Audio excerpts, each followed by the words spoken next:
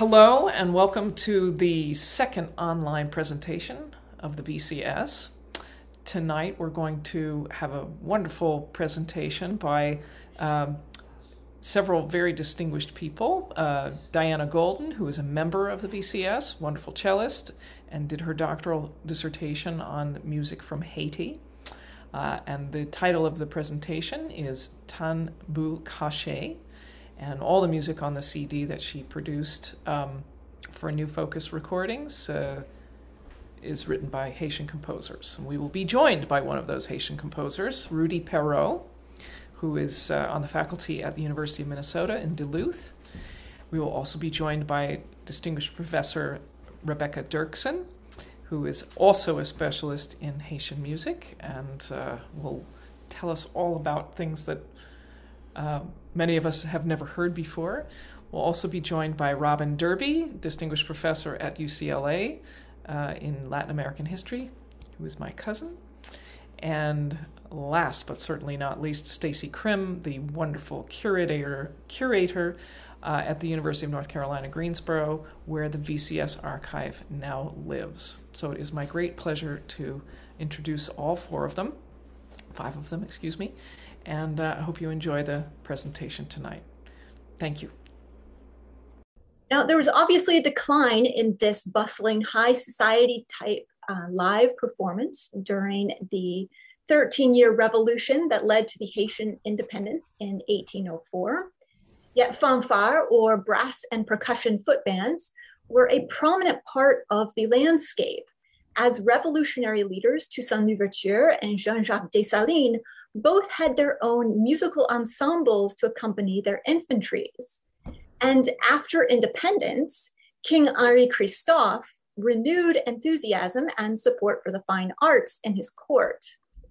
Were we able to step back in time, we could probably expect to be regaled with musical entertainment at his Palais Sanssouci, which you see here, uh, Christophe's example, in some ways, was emulated by subsequent leaders of the country, including 19th century President Fabre Geffrard and 20th century President Paul Magloire, who both founded important national schools of music during their respective times in office. While neither of their conservatories um, is any longer in existence, today there are a number of music schools across the country. Alongside these concerted efforts to cultivate music education and performance, the 19th century to the present has seen island born composers rise to national and international acclaim. Among the historical composers with the greatest name recognition today, and whose works are partially available if you were to really search for them, are Occide Jeanty, Edmond Saintonge, Ludovic Lamothe, Justin Elie, Werner Jaegerhuber, Frantz Casséus, Carmen Brouard, Lina Mathon, and Julio Racine. And you can see I've run out of space yeah. there. Um, with regard to all of the composers that are uh, well known beyond Haiti's borders and who I would encourage you to look into. Um, now, significantly, many of these composers who often received uh, advanced training in Europe or North America sought to create music that would somehow signify Haiti as a nation, thus involving themselves with larger projects of musical nationalism and patriotism. In doing so, they often drew inspiration from folklorized Vodou sacred practices and articulations of popular folklore. Casséus's Suite Haitienne, which is found on the Tanbou Kache album, for example, roughly alludes to both sacred rhythms and rhythms for work and play in its four movements, Petro, Yanvalou, Mascaron, and Kombit. Today, we are seeing an exciting resurgence of creativity from Haitian and Haitian heritage composers, including Jean-Rudy Perrault, who's hopefully with us this evening, and also David Bontemps, Sydney Guillaume, Sabrina Jean-Louis, uh, Daniel Bernard Roumain, and so on each bring a wealth of talents and ideas to their compositions that are so worth your time. So please, if you don't know these composers already, uh, go take a listen. Besides the pieces by Rudy and Roumain on Tan Caché, Sabrina Jean-Louis has also written exquisitely for cello.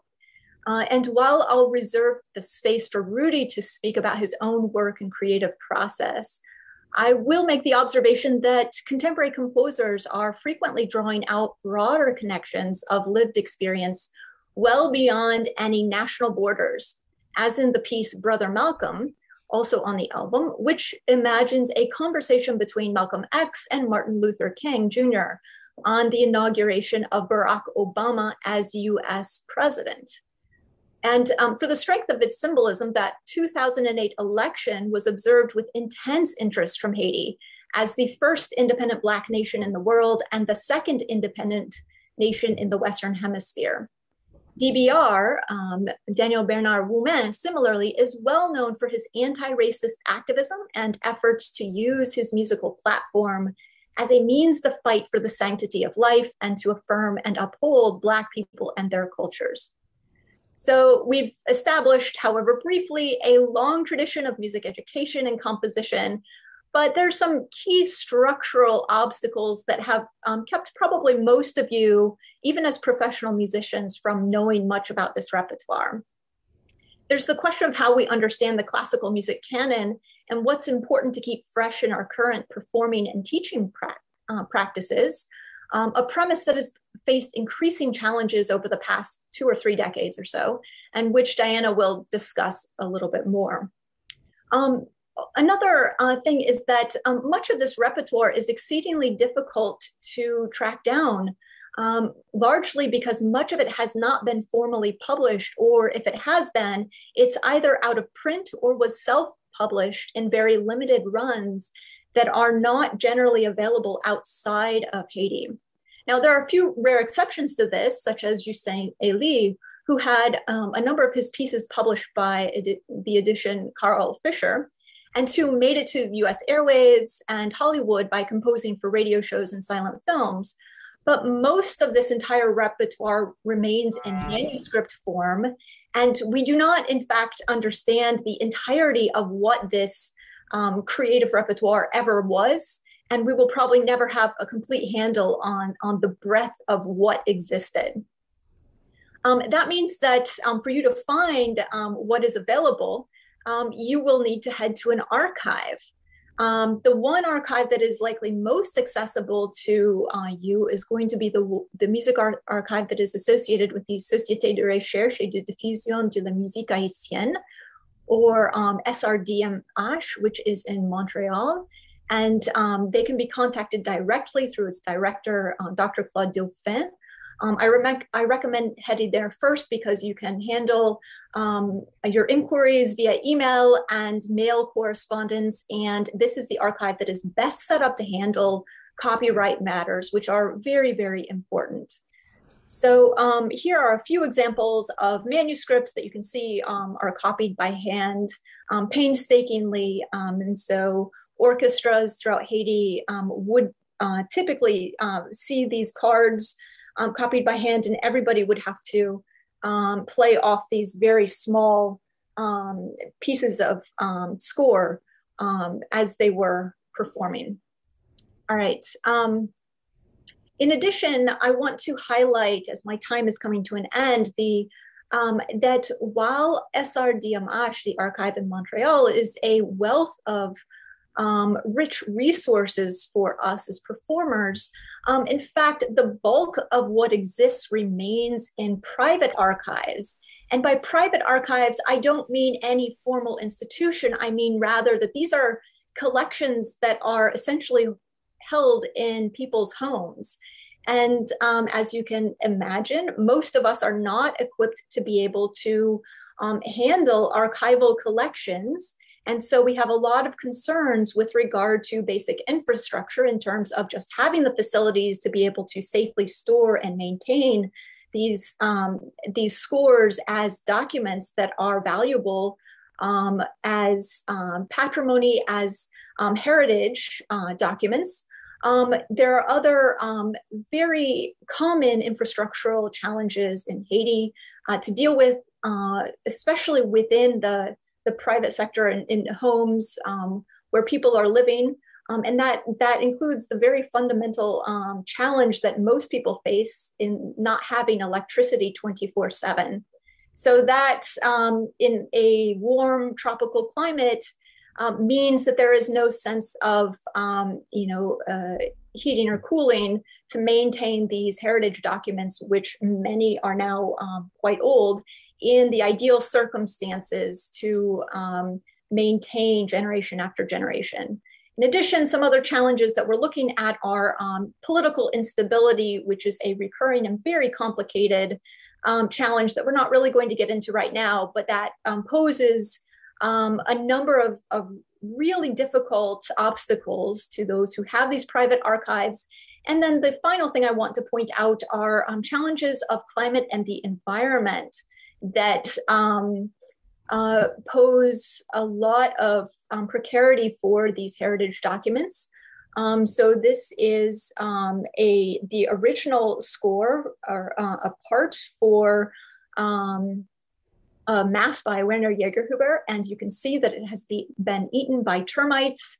Um, other environmental climate issues that people have to deal with are um, humidity, mold, all sorts of, um, besides termites, there are silverfish and other uh, types of bugs that can get into the paper and uh, eat away at it.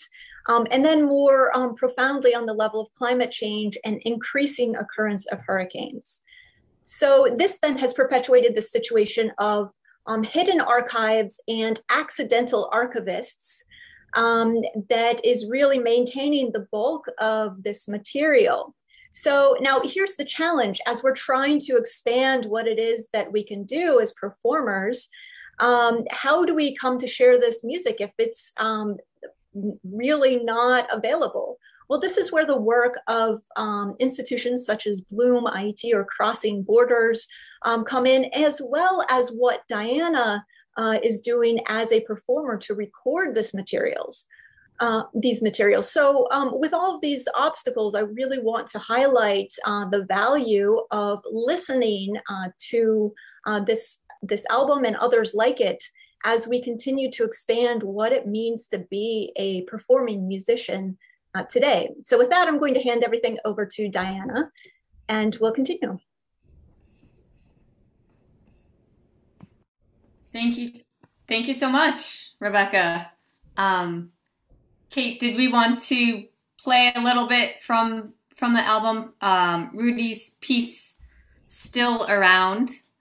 Um, which is, he, he would say um, it's not a piece that would suggest um, Haitian rhythms or melodies. It's uh, a piece he'll be hopefully talking about later um, this evening. But with with the title of the album, Tambour Caché, Hidden Drum, you you really can't hear this is a Haitian composition. This is a composition um, that uses the um, this, spells out um, different letters in a poem called "Still Around." Thank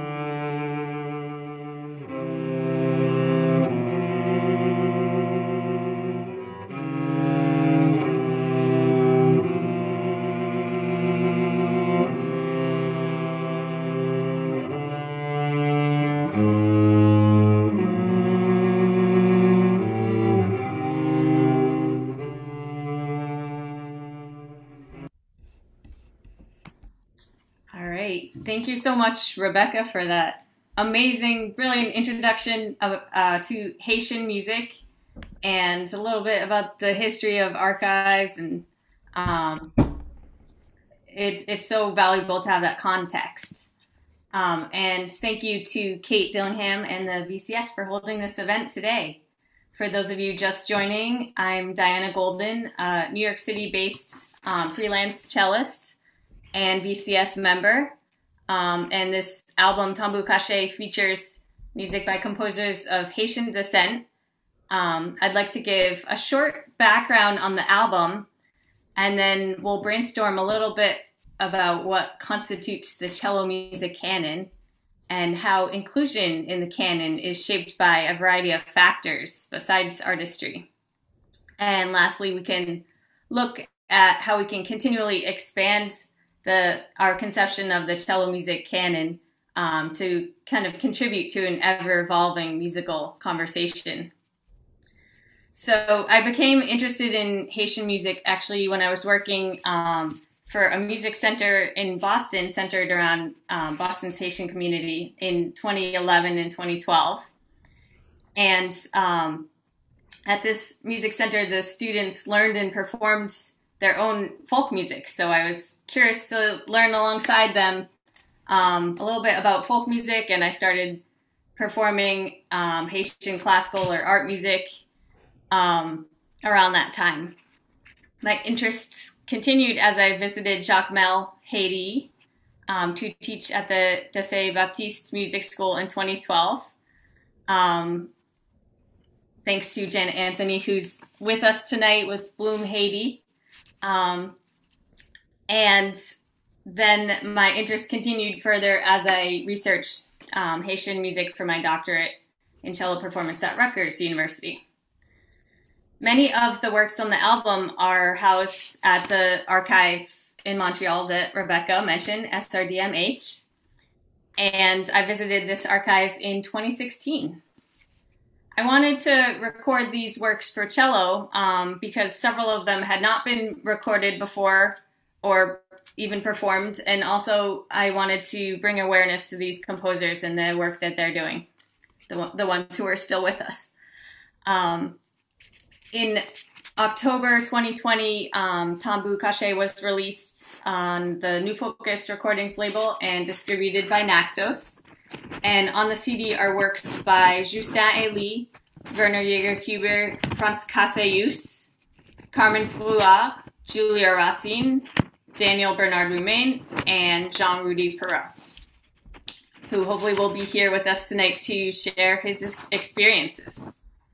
Um, this recording spans a large variety of styles and um, has a timeline ranging from the 20th to the 21st centuries. And composers who are Haitian American, Haitian Canadian, and those who are based in Haiti. Rather than attempting to claim one national musical voice with this album, we tried to show a variety of compositional tastes um, with each composer and what unique attributes they each bring to this ongoing musical conversation on um, art music. Haiti has a rich tradition of creating classical music that dates back centuries. Now, I'd like to ask each of you, and you can raise your hand if you like, how many of you have heard classical music by Haitian composers before?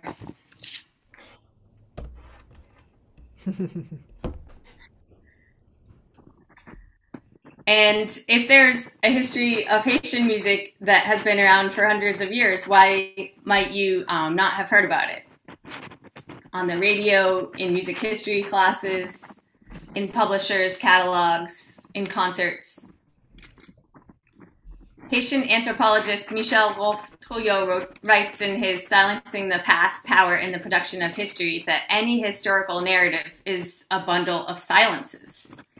He goes on to say that silences entered the process of historical production at four crucial moments the moment of fact creation, or the making of sources, the moment of fact assembly, or the making of archives, the moment of fact retrieval, which is the making of narratives, and what he calls the moment of retrospective significance, or the making of history in the final instance. So, in other words, for every piece of music that gets created and published, others are not afforded these resources. For every score that gets included in a library, others are not given this opportunity. For scores that aren't found as easily in libraries, they are not as readily included in musical records. And for scores that are not as readily included in musical records, they are not as readily included as part of our music histories And I thought Trouillot's uh, framework on historical issues of preservation in archives might be helpful for our discussion. I want to be clear that I'm not promoting disregarding music we might already know and love, but rather that we can examine what else there is to explore, to love playing, and to share with audiences as part of a continual, continuously expanding canon. Throughout the history of uh, the modern cello and its earlier predecessors, cellists and gamba players have always worked to expand the canon and what could be done with our instruments, as we were not willing to let violinists hog the soloist spotlight. But the composer as genius trope has existed as far back as Plato and shapes the entry gates not only for which composers we allow into the canon, but also which ones are kept there further perpetuating the perception of the canon as a fixed entity.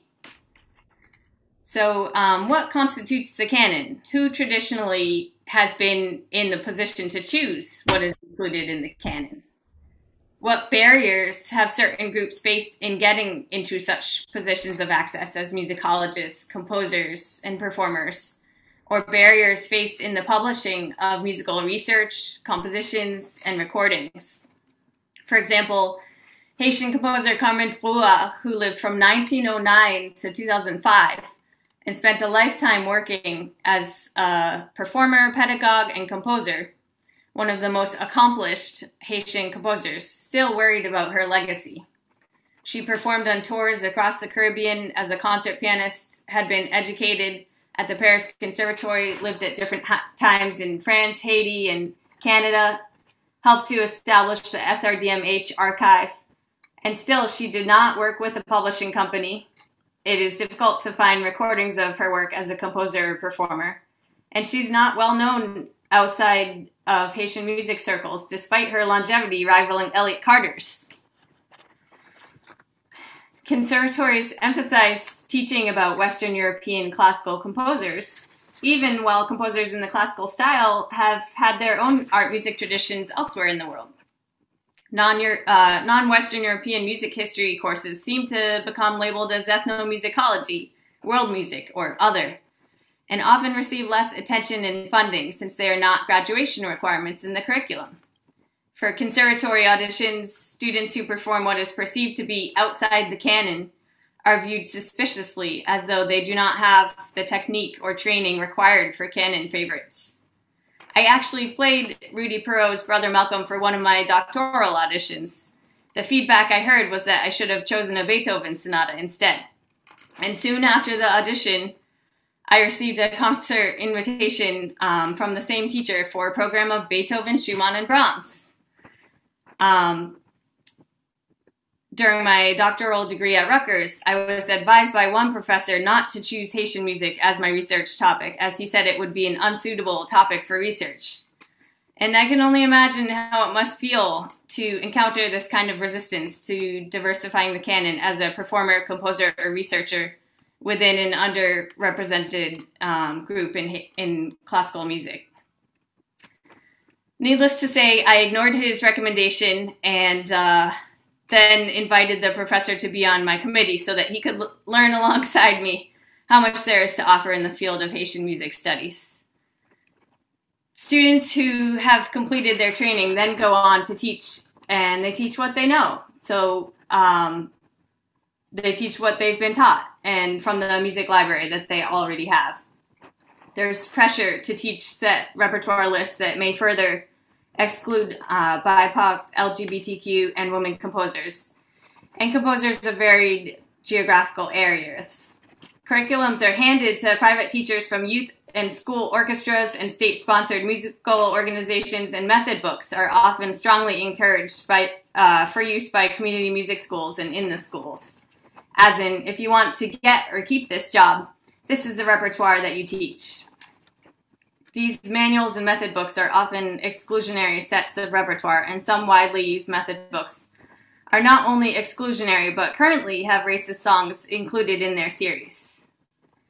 As I'm sure many of you know from your own experiences, inclusion of cello music in the canon is shaped by various forces besides artistic merit. So, how can we continually expand the canon as performers, recording artists, presenters, and teachers? Here are just a few thoughts, and we welcome your ideas during the Q&A portion of tonight's event as well. By seeing the canon as though it is an ongoing conversation between many artists, always evolving, not a fixed and predetermined literature that necessarily pre- uh, preferences old over new, known over unknown, or certain heritages and cultural traditions over others. And for artist researchers, through archival research, taking the time to research something new for our teaching and our performance programming. This could be attending a concert at which you don't already know the composer's names doing reading sessions, making it a regular part of your practice to listen to new works, finding companion pieces that offer similar techniques and teaching points to your go to pieces, and looking to composer databases. Audience members often say, I don't know anything about music, so I don't know if my impression means anything. And then they relate their very valid personal experiences in listening to the music we all have the expertise to evaluate whether a piece has musical merit, is interesting, or is meaningful on a personal level. Without a textbook telling us we should idolize the composer because they were previously idolized.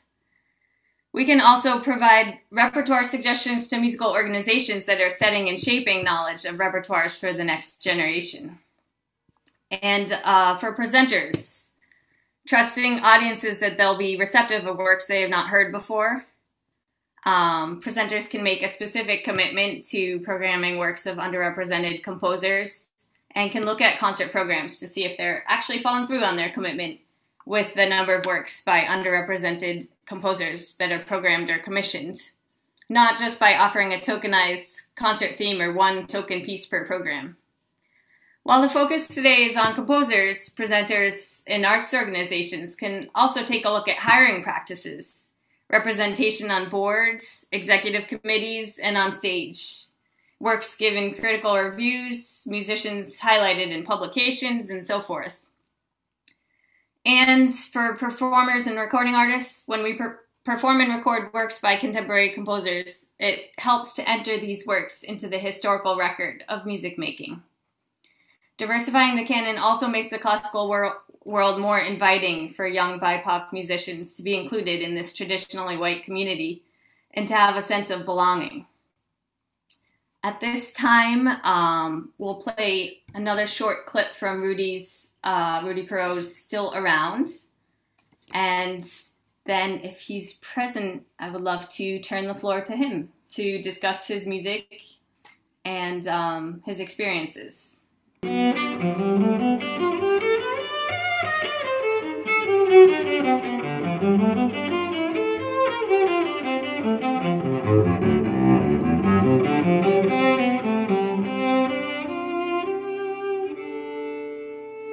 Okay. Um, I think that was fantastic. But um, we uh, would love to include some other voices on this on this Zoom call. One is uh, my lovely cousin, Lauren Derby, Robin Derby. She teaches at the University of California, Los Angeles. She's in uh, in the Latin American Histo- History Department. And, you know, I, I, I, just have to, to, to just remind everybody that, in fact, we are a cello society and that uh, in order to continue the wonderful work that we do, uh, creatively and otherwise is is by support. And not just from cellists but from people who love cello. And one of the things that uh, I've been talking about with the board since I became president is um, seeding a fund for commissioning people of color to write more music for us uh, and to have a, uh, a living archive hence the title of this whole presentation, a living archive, which shows not only that we we living people who play this 300 year old instrument are are inspiring and encouraging people to continue to write for us. Um, it's it's a very important part of our of our culture and bringing us forward uh, for the next generation. Um, so I, I would like to open it up to questions. If anyone would like to speak uh, or, or, or ask a question or type a question in the chat, please go right ahead. I know we have some um, very distinguished people on, on, on the call here. So, Robin, if you're nearby, if you'd like to say something, uh, that would be super great.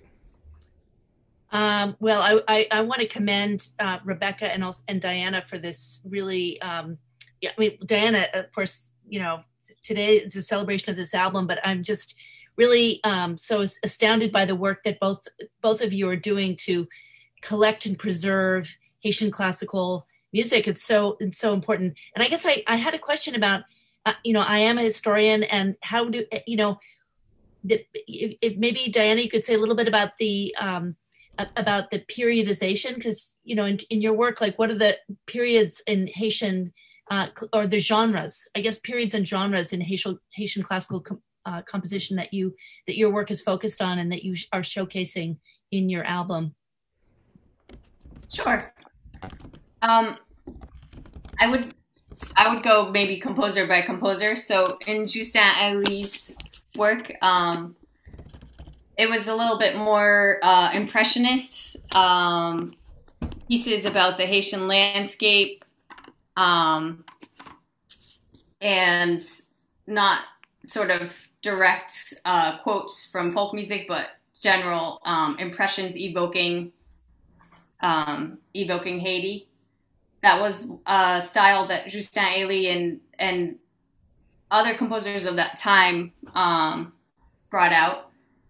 Justin Elie also had works that were influenced by um, Arawak uh, groups in Haiti, um, an indigenous group. And he, uh, as Rebecca said, was published by Carl Fischer, but Carl Fischer um, promoted sort of the exoticizing of um, Haitian themes so it, it was a double edged sword. Yes, he wanted to uh, emphasize his Haitian heritage, but he also wanted to have his works be more mass produced and palatable for foreign audiences. Um, let's see, going down the line, Frantz Casséus uh, was considered the father of Haitian guitar music. Um, his Haitian suite that is represented on the album, um, and and arranged by Julio Racine. It you can hear some um, rhythms like uh, Yanvalou rhythm or Petro rhythm, which are from voodoo um, ceremonies and kind of stylized in this in this Haitian suite for uh, solo guitar, and then this arrangement is for cello and piano. Um, I, I, think we mentioned in Rudy's pieces um, the two that are on these on this album. Uh, Brother Malcolm has an African um, theme, uh, but it it has a title um, inspired by the U.S. election we would say those two are not necessarily um, Haitianized writing as much as his uh, string quartet, for, for instance, performed by Crossing Borders on one of their albums. Um, let's see what else there is. I, I, tried in the in the album to pick uh, certain composers who wrote for cello who are representative representative of different styles. Um, so then you have Daniel Bernard Roumain, who is also a contemporary um, Haitian composer who feels um, he would like to bring out his um, Haitian heritage. He's Haitian American. Um, he would like to celebrate his um, his roots and every contemporary composer has kind of a different approach in that um, some may feel more linked to their time in Haiti or their family in Haiti, or you know the Haitian experience, and some might feel like I'm just a composer who happens to be Haitian, and this is my unique style. So um, it really just depends on each individual composer. If that answers your question. Bernard also is um, considered a really important um, Haitian composer. He transcribed um, uh, Haitian folk melodies and and put them into classical music so that um, kind of elite audiences would not um, stigmatize the voodoo um, origins of the melodies once you take the text away from the melodies and put them as classical pieces. Uh, you know, for string quartet, they they embraced um, the the voodoo uh, link to the the Haitian folk melodies. I'll just interject. Welcome, Rudy. Um,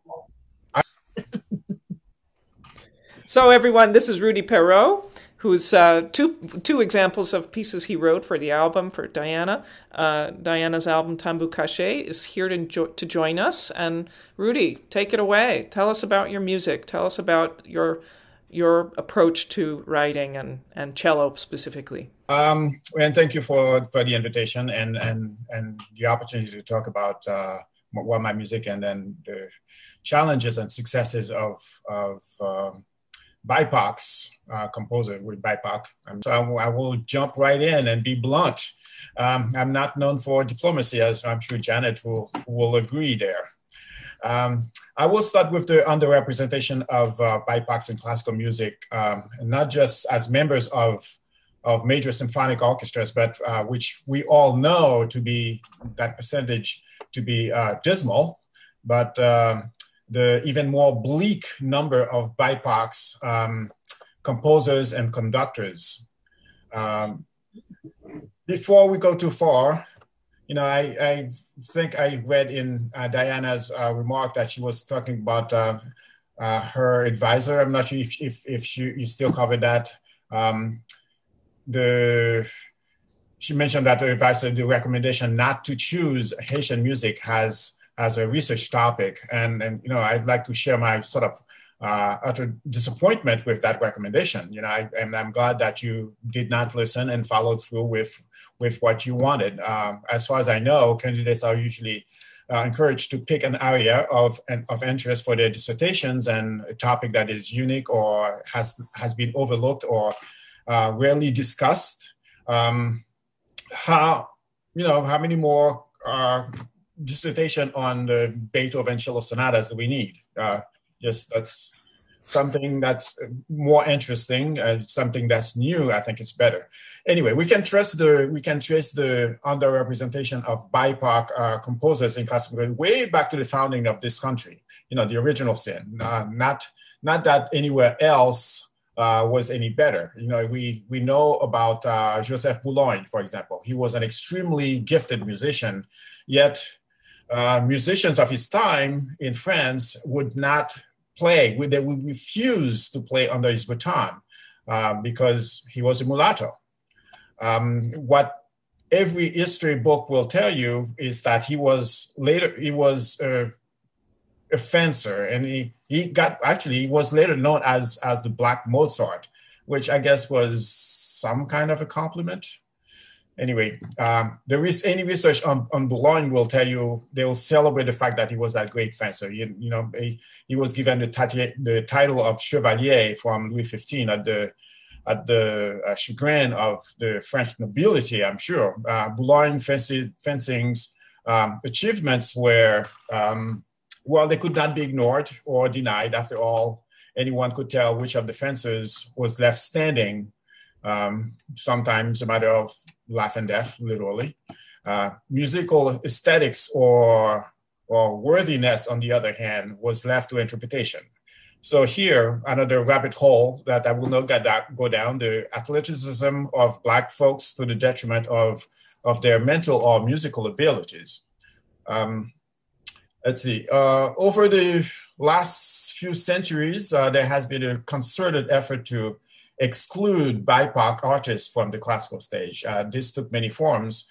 The, the most obvious, slavery, duh. Um, but let's not, let's not discount the effects of underfunding uh, through redlining or other housing tactics or underrepresentation in the government, uh, socioeconomic disparities, blunt, um, blunt policies that restrict access to arts programs, and, and, and the more subtle one was invalidation of their art, invalidation of their work.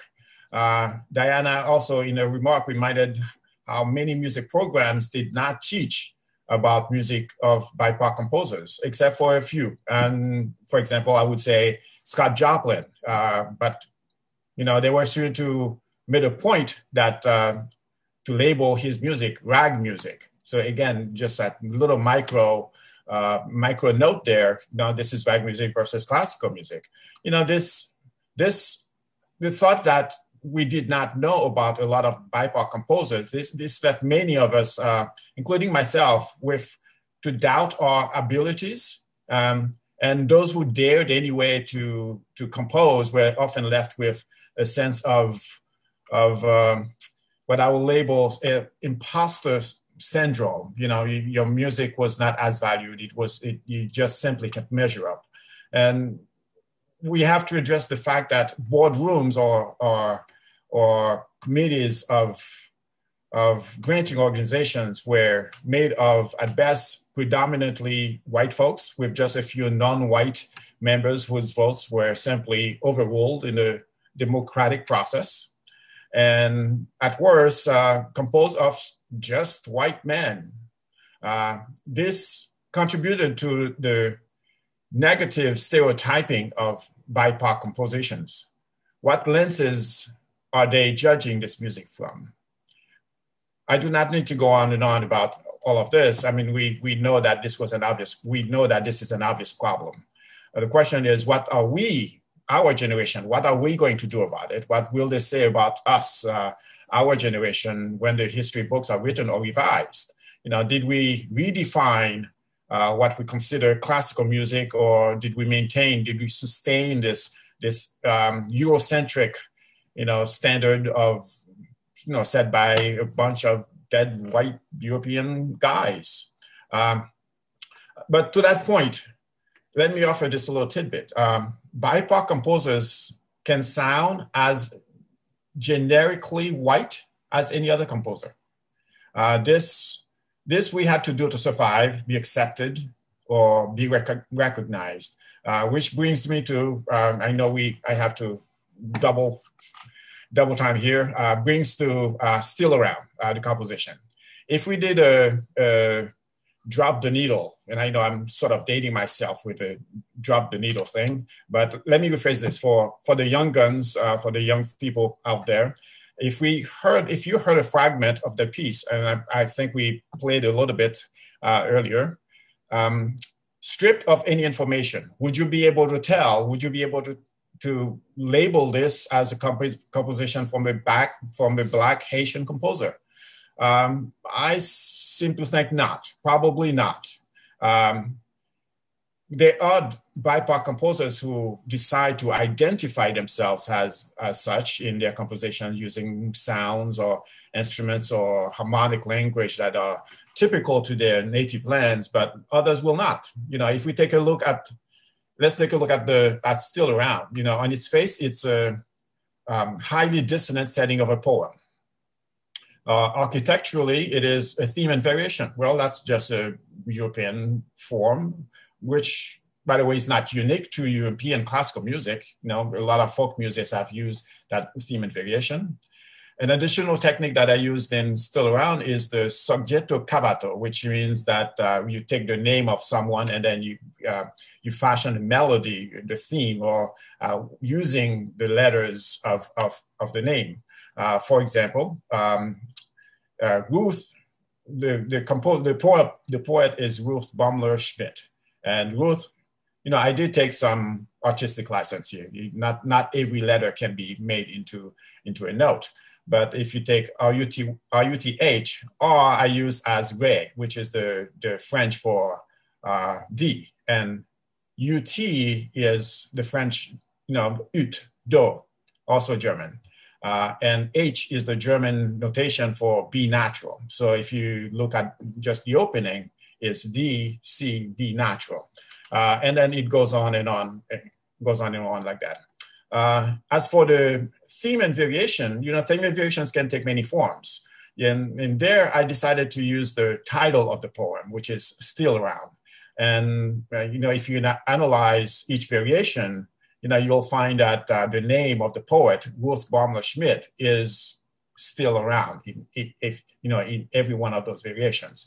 So the poem begins, um, I am not your, I am not your substitute mother, uh, not your watchful, watchful silent father. I'm not your whole life's answer, uh, but I'm still around. You know, each verse ends with, but I'm still around.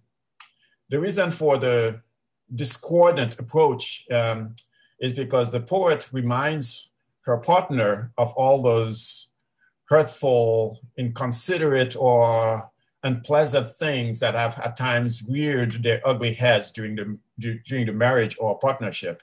Uh, yet, in spite of all this, she is still around. You know, this piece ends with a more positive note, pardon the pun, uh, to symbolize the, the love that binds to people. Um, you know, we're not all, we have, we all have faults. So we must excuse those of others, especially uh, those of one person who, with whom you've, you've made a vow to. You know, what, what makes this a Haitian piece? Well, I, I, I think nothing. You know, it's not the harmonic language, it's not the rhythm, it's not the instrument. The only difference is it was written by a Haitian born composer. That's the only reason why it is a Haitian piece. You know, and I, th- I think uh, that's where the, the title of the, the CD, Tanbou Kache, I mean, that's where the hidden part is.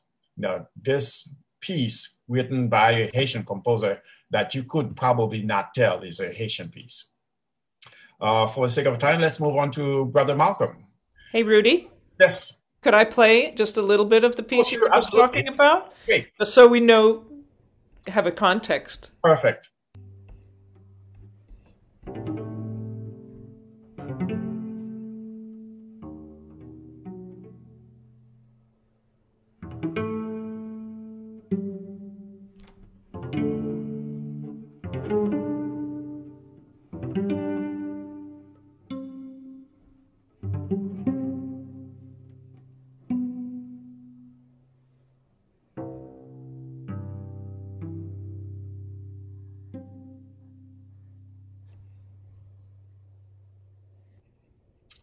Thank you. Um, well, let's see. I, no, I think we need to move on to Brother Malcolm. Um, Brother Malcolm was written um, to to mark the, the ascension of a black man to the presidency of the United States. You know, I heard at the time, you know, 2008, a lot of hopeful talks and you know euphoria. Uh, you know, racism is over, all all of that, uh, you know, uh, following that inauguration. Yet my gut was telling me also that this this could be short lived. You, you know, the the piece is a, a, fictional conversation between Martin Luther King and Malcolm X following the ascension of Barack Obama as 44th president of the United States. You know, if it begins with the greeting, um, brother Malcolm, have you heard the news? And and then you have the reply, uh, Brother Martin, I did hear the news. Uh, the two men continued their, their, their, conversation in slightly different harmonic language. You know, I decided to use the conventional image of the two men to differentiate them. Um, I realized that by doing so, I'm, I'm sort of, I've become part of the problem, the problem that portrays Malcolm X as this hate-filled individual and uh, who would try to reach um, any of his goals, you know, all the goals by by any means necessary. You know, the the reality is that the the two men had more in common than we have been led to believe. You know, they were simply two sides of the same coin, the same goal. They both wanted the same thing, and especially in the in the later years of Malcolm X, you know, he he was promoting this sort of uh, all the races coming together. Anyway, let's let's move on from there. Um, what um, so I picture this the the more peaceful MLK with a much less dissonant harmonic language, and I say much less dissonant because yes, we all humans, and he had his temper, and sometimes would we've we've seen uh, places where he kept his his anger in check, but then the words were very pointed, very very pointed. You know, so I, I use that much less dissonant sound for MLK, and the more militant voice of uh, Malcolm X is heard in a very more disagreeable tone, should we say? You know, Malcolm X is is the one that warns in the piece uh, that, that there will be hell to pay for this audacity. You know, the the America that that he knew and that I felt at the time was not ready for this kind of this kind of a change. That we would suffer uh, some serious backlash from there, and here we are. Uh, scattered around um, the piece are fragments of, of the South African national anthem, uh, Kosi Sikelel Afrika. Uh, it's, it's, it is never heard in its entirety and is often hidden.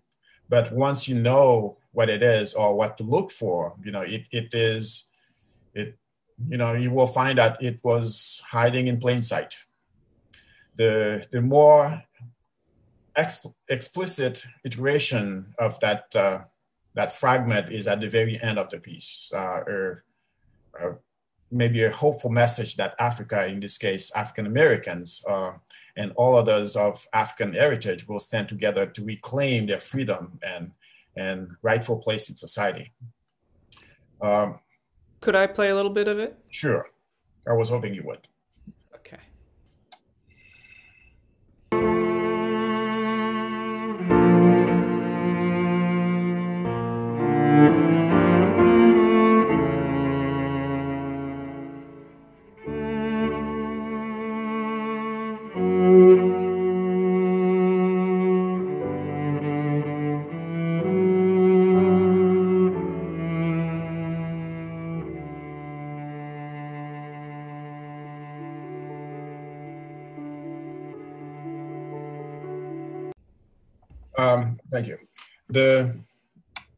The diversity in the arts, in everything in the boardroom, um, diversity of opinion is not a prob- problem. It is it is a solution. Now the same uh, the same is true in classical music. You know, to get to get there, however, we need to redefine what we consider classical music. We need to reimagine diversity, equity, and and, and inclusion. Uh, it's not it's not a box to be checked. You know, from a business framework, you have publishing houses who simply would not publish music of of African Americans or people of African descent, and and hence the the scarcity you can you can hardly find them you know uh, the published and even some of those I, I I know for example Justin Elie who was published by Chester uh, the music is out of print now. You, you can't find it anymore. Um, so that choice, that that choice to not print the music um, is simply to meet the bottom line. You know, people, it's sort of that cycle uh, because there is no demand for it. They won't print it, and because they don't print it, people don't know about it, and they, you know, they, it's that continued cycle.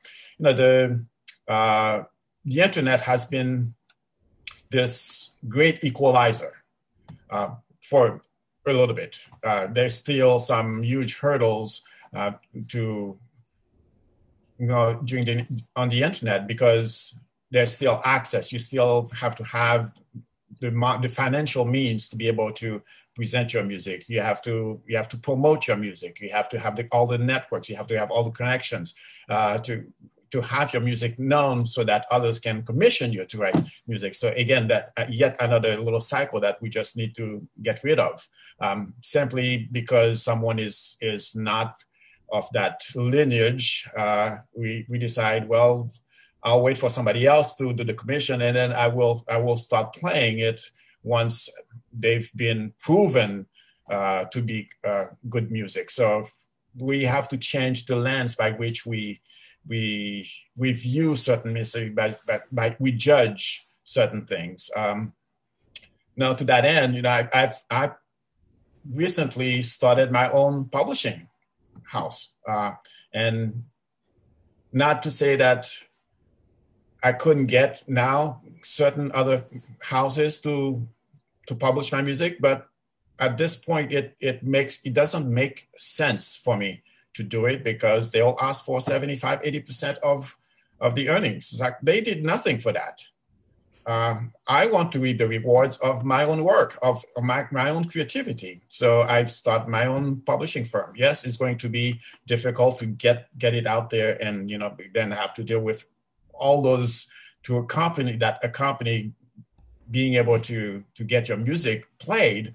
But um, have been doing well. I've been doing okay so far. It's not so much about making a living. Fortunately i have i have the means to use uh, my work as my bread and butter. And then to the composition is because i have something to say because i i think it's important for people to to hear the, my point of view. Um, I compose because I have something to say. I compose because there are certain things that are not being addressed. And music is a sort of good vehicle because it's, it's much more palatable. You can hear a piece of music and you don't have to go into the conversation right away.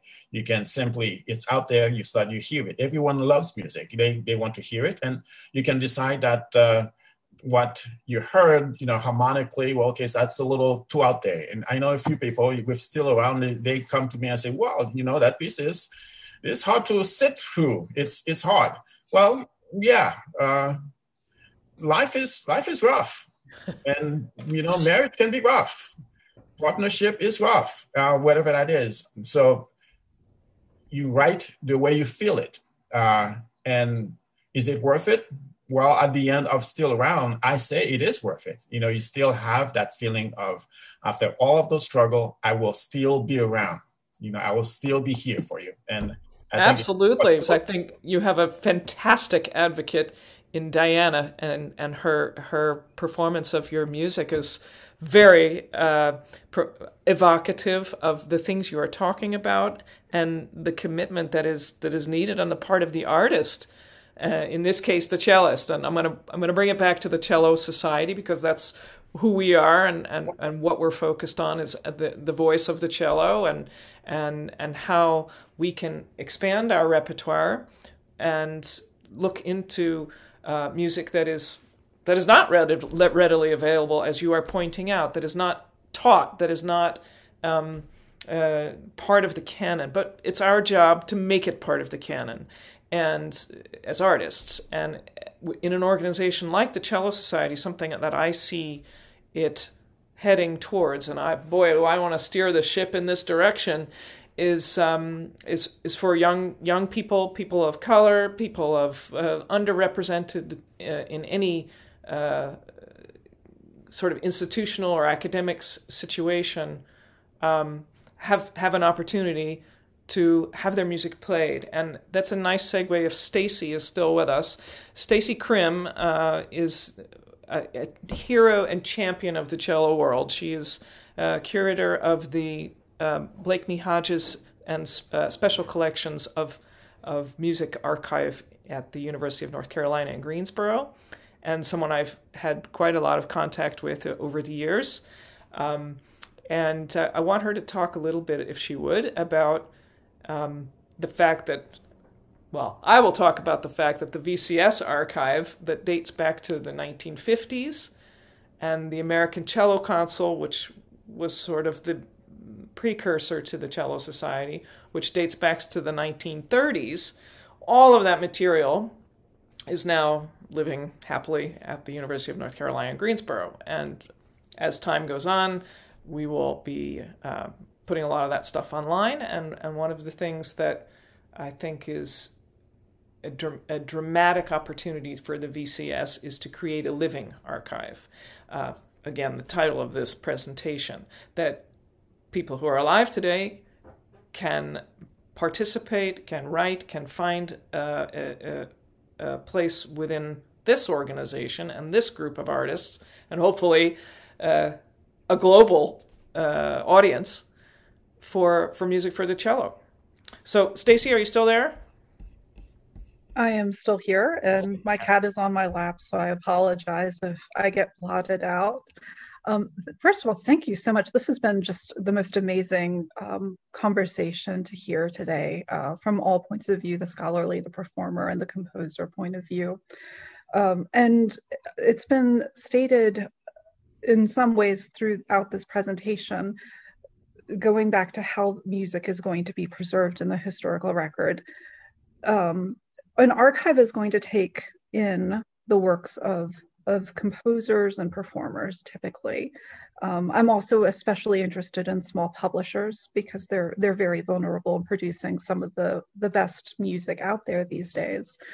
So when you look at a performer's collection, you're going to see the pieces that they performed, which goes back to uh, the significance of what Kate was saying is that we need to have this material included in what is being performed at by performers at all levels um, for it to be really uh, making it into the historic record. Um, archives are uh, making great strides and greater representation of composers and performers in their collections. We're still going to have to deal with some baggage because we are historical in nature, so um, it will take us a little while for us to catch up um, because we always are going to be 50 to 75 years out of date. Um, but uh, what I the what I can say is encourage performers to perform uh, music of underrepresented populations. Um, encourage performers of underrepresented populations to uh, to make their works, their uh, performances public, so more people can experience this. Um, it's really important that audiences get to experience this music, um, and uh, I think technology has been a, a, tremendous avenue for that. And composers need support. Um, so uh, certainly if ever you're interested in diversifying, um, music librarians and archivists are eager to help you uh, help expose you to music you may not be aware of. Um, I'm certainly, I will certainly do my best, but I'm certain many of you um, are associated with institutions that can help as well. And I am so excited about Kate's support uh, and future initiative of hopefully getting a, a program started to support the um, the uh, funding of compositions by BIPOC composers. Thank you so much. That was a really fantastic way to to sort of put a put a bracket around this this wonderful evening. Um, I want to open it up to anybody who's who's been here, who has a question, a comment, uh, you know, a constructive criticism. uh, Bloom Haiti has a comment. Let me unmute you. Uh, my hand was up by accident. Sorry. Oh, I'm sorry. Well, we're a year of the pandemic, I would know by now, but ay ay ay, there it goes. It's okay. No comment. Just to say congratulations to um, to you, Kate, and to Diana and Rebecca and Rudy for their terrific work. Now, can you tell me a little bit about what Bloom Haiti is? I love the. Uh... This is a, a nonprofit organization. Uh, Bloom stands for Building Leaders Using Music Education in Haiti. And uh, I've been going to Haiti since 1996. Actually, Rebecca's first trip to Haiti was uh, when she was a student at Lawrence University, where I taught for many years. And um, uh, yeah, so I've been involved in Haiti for a long, long time and love the music. I posted in the chat there um, uh, names of some composers who've done some fabulous cello ensemble pieces if you're interested in that. Um, and these are relatively uh, easily available by contacting the composers who are on Facebook, or you can Google their names and find find their works. So fantastic, thank you. I copied all the links that people put in the chat, so it'll go into our little archive on the website. There'll be a recording of most of this talk. I managed to get the, the, the button pushed. So, um, uh, anybody else like to? Oh, yes, Elizabeth Landers would like to say something. Wonderful. Thank you. And uh, Robin Derby is my advisor at UCLA. So thank you, Robin, for inviting me. This was absolutely a wonderful experience. I, I found myself thinking, and perhaps this is a question for Rudy. Um, what possible avenues do you see in promoting classical music within Haiti to uh, allow it to kind of reach and speak a potentially broader audience within the country? Uh, our biggest issue, I, I, would say right now, are the lack of of um, on a daily basis, on a continual uh, basis, uh, teachers. Um, it's that constant training um, of the teachers that that's that's missing. We, we, we have volunteers like Janet and Diana and, and Rebecca who would come down and for a short time, uh, you know, Janet is a honorary Haitian at this point. You know, they come they come down and and, and teach, but then the rest of the year um, they they have to make do with whatever uh, whatever they, they, think they know. Um, promoting that I, I, you know, I, I, may be biased, but I, I, find Haitians are extremely gifted for for all kinds of music, not just not just the compa and, and all of those pop music, popular music, but also um, classical music. You know, I'm working with some young through Zoom. I'm working with some uh, violinists and and and others, and also uh, another composer. Uh, young composer just starting is doing some really wonderful thing, but then it, it's it's just uh, it's very difficult uh, to get not only to get his music played. Um, it, it's it's you know it, there's still a lot of mistakes, you know, so the rookie mistakes that that they're making. So if we can get on a more regular basis, pe- pe- people that come down and and and I would say the same people all the time because then there's there's the sort of that um, follow through with everything that's going on rather than oh yeah try this way. And then somebody else comes in over and, and says okay i want you to focus on this. And then so that that that can be good as well because it makes makes you very versatile it makes you adapt to adapt to all situation so in order to, to promote classical music in haiti uh, you, you, we need instruments we need teachers and because they already have the passion and and the and, and the talent uh, so those two are the biggest ingredients. Nikolai, would you like to say something? Yeah, um, I just want to add uh, what Rudy said. Uh, we are fellows in the same uh, state. Uh, he's in Duluth, I'm in St. Paul, Minnesota. And uh, um, I'm also cellist, but uh, also a musicologist, and I uh, I want to add uh, that it's very difficult to promote culture which is not uh, not known here. I do this in the 20 uh, 19 years uh, in uh, Twin Cities with my Balkan contemporary chamber music what I do and uh, plus folk. But uh, as far as folk music is more popular, but particular classical music from culture like the Balkans that nobody knows is very difficult to promote uh, and to try to find the venues and way to get the people interested uh, in this. Uh, so um, basically, the circle of uh, people who are attending this concert is almost not the same, but uh, it's hard to grow. I, I completely understand uh, Rudy's uh, problem with the Haiti's music as well. Uh, anyway, so um, that was very, very important uh, thing that Rudy mentioned about and said uh, the how we to promote this music. Yeah.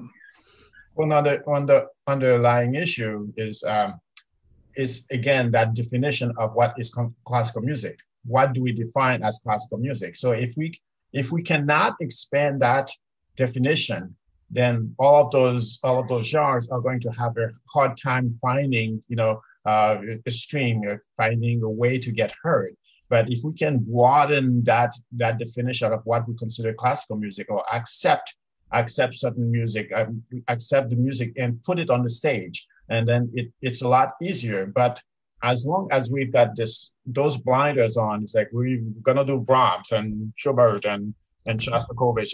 Uh, it's going to be very hard for other types of music to, to come in. We, we've got, I have, um, you know, some of those composers, they want to write in the style of, you know, they, you know, Mozart or wh- whatever, but of those accepted genres. Uh, well, why, why not write in your own style? Why not take, you know, Bartok did all that research, you know, Kodály, the same thing, you know, uh, those ethnomusicologists. You want to take the music of your country and then put it on the stage with your sound, with your instruments, everything else.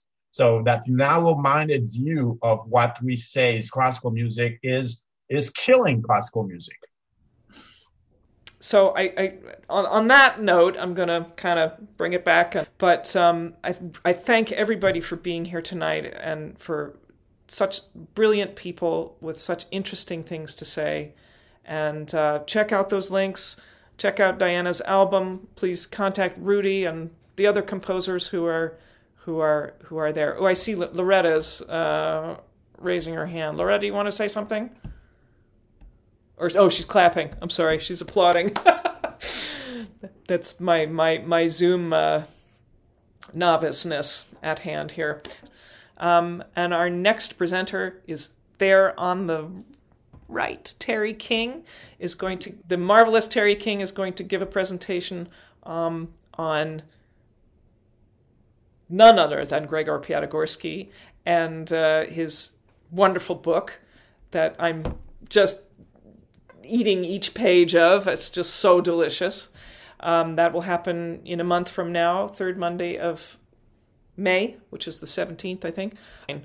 Um, so thanks for joining us, everybody. Thanks so much, everyone. It was fascinating evening.